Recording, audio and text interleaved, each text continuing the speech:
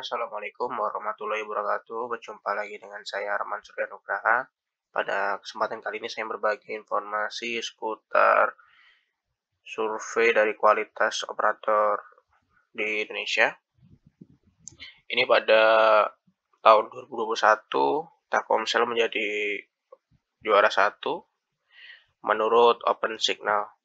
Jadi survei ini berfungsi ketika kita akan melakukan pemilihan operator mana yang memiliki kualitas terbaik dan harganya termurah. Buat apa apabila operator itu harganya murah namun kualitasnya lelet atau putus-putus jaringannya.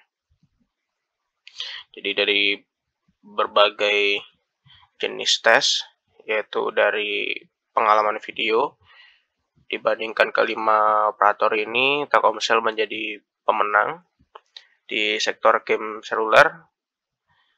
Pemenangnya ada di Tri di pengalaman aplikasi suara Tri dan pengalaman pengunduhan kecepatannya menang Telkomsel. Ini secara nasional ya. Pengalaman kecepatan unggah masih menang Telkomsel.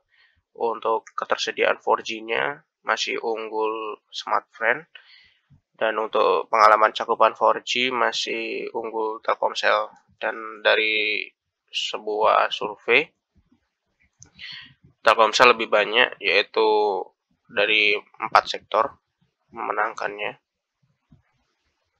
Di sini kita bisa kita lihat untuk poinnya dari 100 poin Telkomsel dapat meraih 62,7 untuk pengalaman game dari 100 poin uh, Telkomsel belum unggul kalah dengan Tri tadi di angka 57,6 untuk pengalaman aplikasi suara masih belum unggul, masih unggul Tri.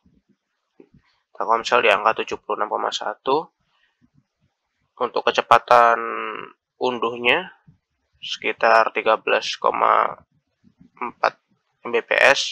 Ini bergantung di wilayah mana, uh, bergantung dengan kepadatan penggunanya jadi kecepatannya ini bisa fluktuatif. Dan yang menjadi penyebabnya yaitu persebaran yang tidak merata. Persebaran penduduknya. Dan ini kecepatan unggahnya sekitar 6,8 Mbps. Untuk ketersediaan 4G-nya 89,3 kalah dengan Tri dan untuk pengalaman cakupan 4G, Telkomsel menang dari 10 poin mendapat poin 8,5.